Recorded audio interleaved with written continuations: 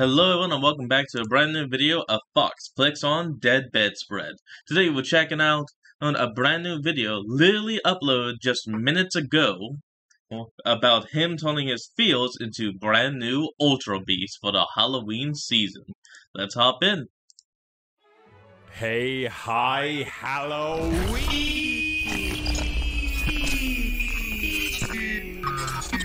Okay, nice intro. Ooh, new logo as well, it seems. Something that personally irks me is the erasure Oh, of I the like that. season. The commercialism of Christmas extends as far back as August these days, and now Mariah Carey is slowly thawing out, driving us all mad. With the modernization of Halloween, it can sometimes seem more like a cosplay event, where you just also happen to Hmm. get free candy. People True. ask trick or treat, but they never accept the trick. Don't ask if you don't want it. The origin of That dressing is up was from a need for humans to disguise themselves as sinister spirits, so that said spirits wouldn't recognize them as human and Mhm. therefore leave them alone. There's nothing scary about Another way of superhero scanning them off, costumes really. or boobies. With this holiday becoming more and more usurped by the jingle jangle genus each year, why don't we do Halloween Yep. right and delve into what Oh makes yeah, us the? Jack-o'-lantern of Truly, the original. our fears. Well, your fears. Yeah, Dreadspread, they get it. Pokemon currently features close to 1,000 different creatures, all of different shapes, sizes, temperaments, but ultimately all have the ability to be a believable friend. So Oh, then, yeah. in 2016, Game Freak decided to tear apart all previous design conventions and, And show introduce monsters the Ultra Beasts. not of Seemingly this based off invasive species, these 11 lads are some of the most wildly designed Pokemon in existence, if they even are Pokemon. Apparently all of these beasts are totally normal creatures in their own dimensions. Now, not to sidetrack, but the only major difference between Ultra Beasts and ordinary Pokemon is their appearance. They still have the same Yeah. style stat distributions, one ability, and are stuck to the 18 existing types. Mm-hmm. Stat-specific Moxie and the Electric type do not scream Ultra Beast to me. Yeah, As these are in-game mons, I think they should have had a broken unique typing. Something like the Ultra type, for instance. Or maybe some sort of insane something. ability, like becoming immune to the typing of the first attack to hit them in battle. It's the end of the game when Oh, you acquire them, kinda- that and could've most been games give you a broken feature after you beat the post game, so why should Pokemon be any different? Oh wait, it isn't. You've gotten sidetracked. Okay, so the Ultra Beasts.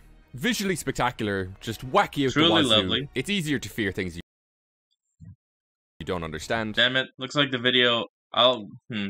Hold on, folks. Okay, I think we're ready to go now. By the way, why the hell is Buzzwole flexing? Why is it flexing on me? What the hell? You know that most of the Ultra Beasts have no easily discernible face. The perfect basis Oh, yeah, I mean, for fear-based Fakemon. With that said, what are we waiting for? Let's turn my fears into Ultra Beasts. This would be a Dread good, spread. uh, like, challenge for Use everyone. Mind Reader. These invasive species are invading Oop, your thoughts. Now, a heads up, I had to put the quality on auto, so if it gets just terrible looking, I'm sorry. So, somewhat surprisingly, I like being able to breathe. You know, that thing we do I mean, subconsciously yeah, for our entire lives. Hold on. We're now um, this just looks terrible even to me. I put it back up high, let's just hope it walks. aware of your breathing. You're welcome. Where possible, I wanted to add multiple fears into each Ultra Beast, just to make them that more personal, you know? So not Yeah, being able to breathe walk. was suffocation, which made me think of drowning. You know, on a planet made primarily of water, of course we'd be able to drown. It's It just our makes sense. So claustrophobia also came to mind, the idea of being trapped underwater, drowning, but you've no way to resurface, regardless of how Hmm. good a swimmer you are. That brought back the timeless fear of being trapped under ice. It's translucent, obscuring your point of entry. Water restricts our movement All speed and power, sense. so regardless of anything you do, any effort you make, unless Mhm. someone happens to pull you out, you ain't resurfacing alive. True. Enter UB Flood. With a literal ice cap that it can tip and fangs resembling submerged legs, this weird mermaid fedora walrus seems friendly, but all it has to do is grab you and you'll be submerged within its body. Ultra yeah, despite some fire types I being like literally it. fire and some grass types literally being plants, we've never had a water type that is quite literally water. Sure, some can melt and become water, UB Flood is Vaporeon. liquid with a shape. Not immediately terrifying. I imagine this guy being deceptively fast, using its perpetually Oh, yeah. moving It wave body to dart around with all the force watch. that that implies. Okay, that's one down. That wasn't so bad. What's Are we next? even allowed talk about this next one? So I've been to many a location in my time. Growing up on an island, however, you usually have two options as Hmm. to how to leave. With UB Flood encapsulating my opinion on water transport, let's turn our Okay. attention to the skies.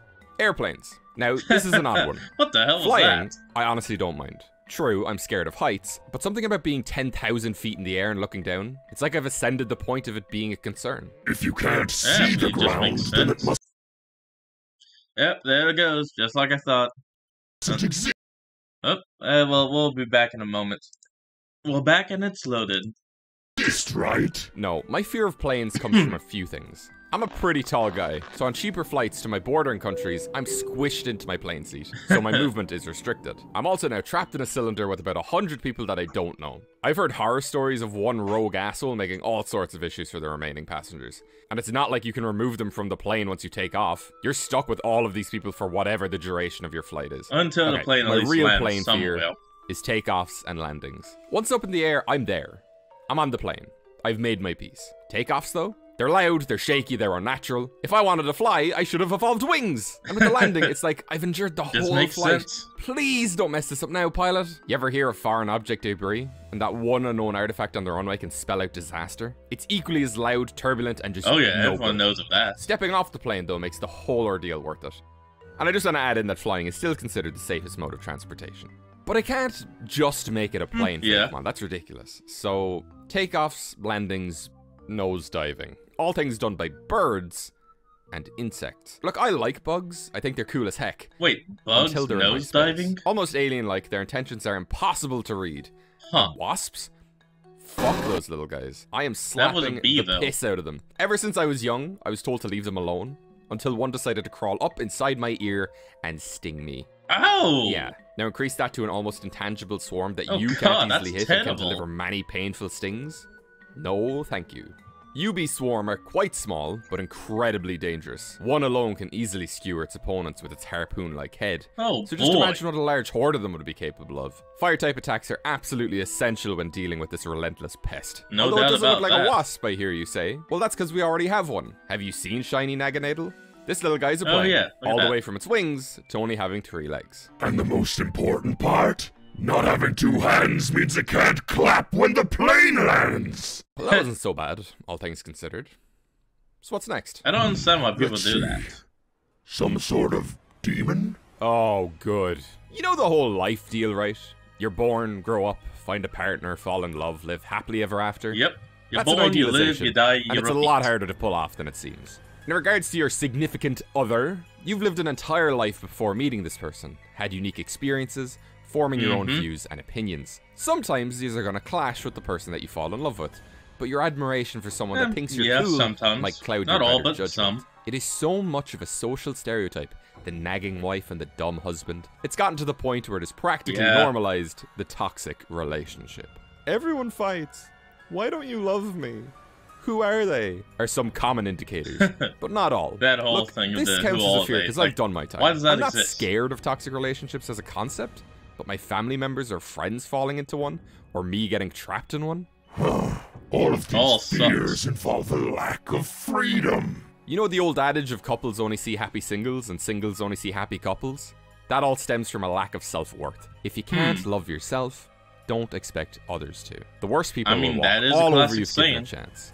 Reevaluate yourself, your partners, or you just may end up like you be resentment. Boasting a sturdy outer shell, frozen solid by its cold, merciless heart, UB resentment is infamous for type. jittering and moving quite eerily, as if its right and left halves can't quite work in unison. Once it takes enough damage, like its it. disguise breaks and its true form is revealed. Toxic relationships are fueled by the unison of Oh. two incompatible members, Oh, resulting now I in the two it. halves of this Pokemon's armor housing something enormous, repugnant, and nasty.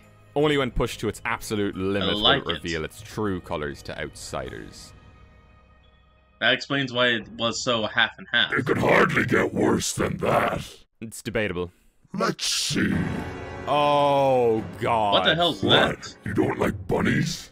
This little guy is kinda cute. One, it's not a little guy, and two, Well, that's no ordinary rabbit. notice the distinct lack of a face?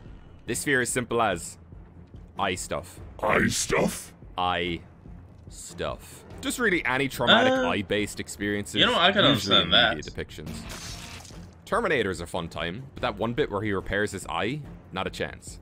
Doctor Strange versus Gargantos, it's all good until Ooh. ah. Not to mention Ooh. that time I turned on the TV as a child, way after my bedtime, and stumbled upon Hostel. If you know, Oh god. you know. Yeah, Nightmare we know. We know. I don't like eye stuff. It's as simple as that. Which honestly begs the question as to how Dead Space 2 is one of my favorite games.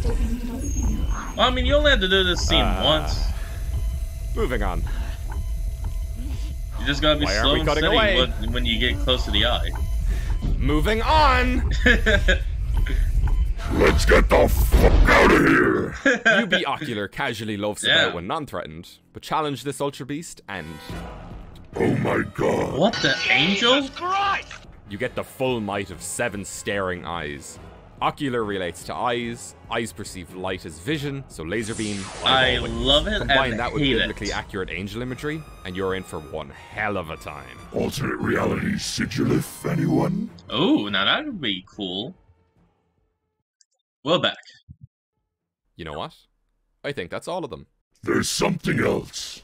No, we don't have to Ooh. look at that. What is this? Some sort of escape pod? No, not not quite. A fear of being trapped alone in space? yeah, that's freaky for sure, but it's not exactly. Ooh, meteor impacts destroying the planet? No. Fear The of sun weapons. eventually exploding? Okay, Come on, I like give me that something. form. Look, just let me. I'm lost. All right, listen here. Let me paint a picture. I'm like five years old. I loved dinosaurs as a child, like Makes to sense. a ridiculous degree. That's the father everyone. from Step Brothers. That was me.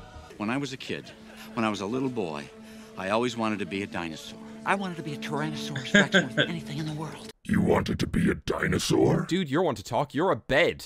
I was hyped, obsessed, a pure dinosaur child. So could you imagine? Could you even possibly imagine when Disney released a movie called Dinosaur? I was ecstatic. I remember the trailer Oh, being like the first five minutes of the movie, movie. and I just watched that on repeat. Parents brought me to the cinema. I was giddy, excited for this entire movie about dinosaurs, and then the room faded to black. Yep. And then